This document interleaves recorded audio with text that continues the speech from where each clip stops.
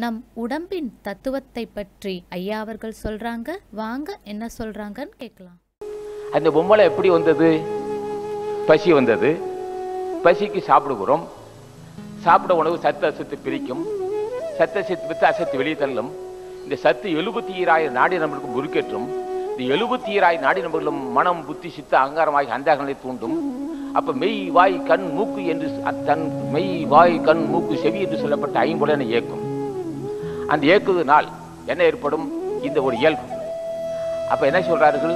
இந்த இந்த உடம்பை அந்த அது மாதிரி இயக்கிக்கிட்டு இருக்கோம். அந்த இயக்கத்திற்கு காரணம் பசியா? உணவா? இயற்கையா? புரியாத புதிராக இருக்கும் இது.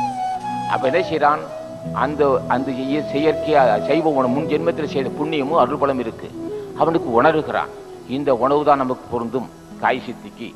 இந்த தேக மாசு நீங்குவதற்கு சுத்த சைவ உணவு பால் ஒன்று உப்புலா ஒன்று சாப்பிடுவான். சாப்பிட சாப்பிட சாப்பிட சாப்பிட உடம்பு தேக மாசு நீங்கும். அப்போ என்ன செய்யும்? மூலக்கணல் தோன்றும்.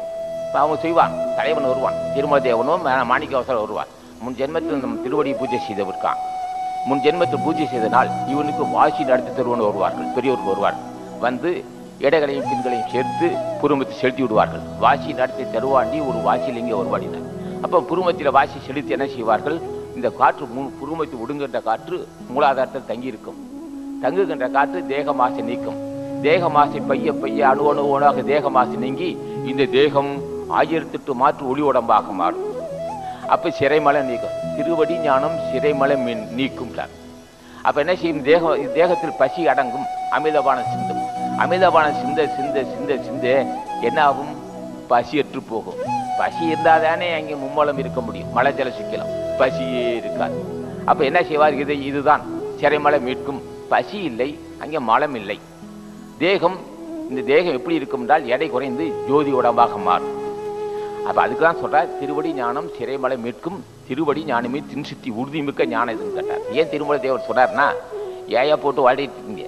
ஏன் அங்கேயும் ஏன் அலைஞ்சிட்டு இருக்கேன் ஒன்று என் திருமலை தேவன் என்ன என்னை என்னை என்னுடைய திருவடி பிடி என்னுடைய திருவடியை பூஜை சேல மாணிகவாசன் எல்லாம் நாங்கள் கொண்டு வந்து அத்தனை பேரும் அத்தனை பேர் காமதேகத்தை பொடி பொடியாக்குனவர்கள் அத்தனை பேரும் ஆற்றல் பெற்றவர்கள் மிக மிக அன்புள்ளவர்கள் கருணையே வடிவானவர்கள். ஆக எங்கள் திருவடியை பூஜை செய்யாமல் ஒருவனுக்கு என் முன்னேறவே முடியாது. உனக்கு அன்புணர்ச்சி வேணுமா? ஜீவதைவம் இருக்கணுமா? மாணிகவாசன் ராமலிங்க சாமிகள் மாணிகவாசன் திருவடியை பூஜை செய்தால்தான் ஜீவகாரணியம் வந்தது. ஜீவகாரணியம் இல்லாதவனுக்கு ஞானமே இல்லை. தீபகாரனே வரவில்லையே. பிற உயிர்கள் பட்டால் பிறகு துன்பப்பட்டால் உணர முடியவில்லையே. என்ன காரணம்? வன்மனம். அஞ்சான காசம் அறியாமை. மூர்க்கத்தனம் இருக்கு.